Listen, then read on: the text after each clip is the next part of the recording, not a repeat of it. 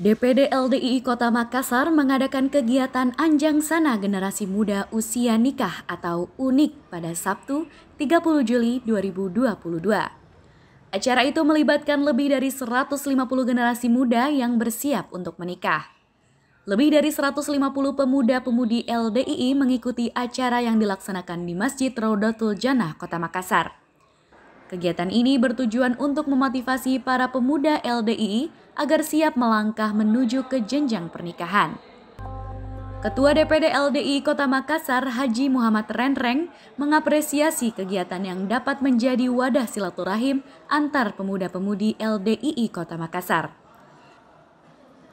Adanya kegiatan temu pemuda DPD LD Kota Makassar, mereka dapat saling kenal mengenal yang lebih dekat lagi sehingga memudahkan untuk mendapatkan jodohnya.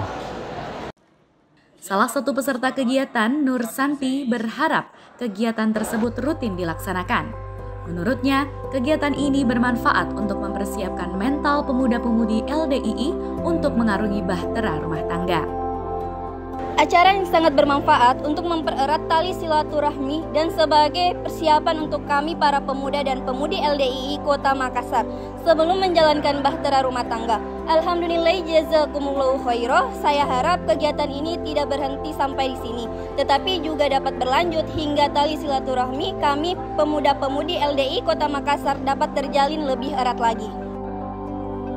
Sementara itu, Ketua Pelaksana Kegiatan Temu Pemuda Usia Nikah DPD LDII Kota Makassar, Al Ghazali, mengatakan kegiatan ini menjadi ruang bagi para pemuda-pemudi LDII untuk menemukan sosok pendamping hidup yang tepat.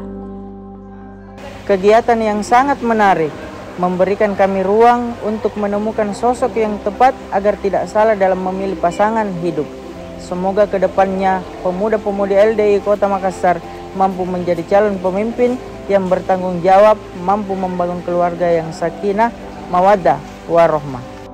Al-Ghazali berharap kegiatan ini bisa menjadi wadah silaturahim antar generasi muda-mudi LDII Kota Makassar, serta memotivasi para kaum muda LDII agar tidak ragu melaksanakan pernikahan.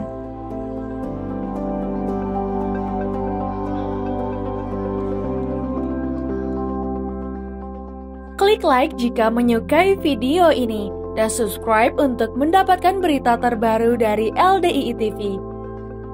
Alhamdulillahi jazakumullahu khairah telah menonton.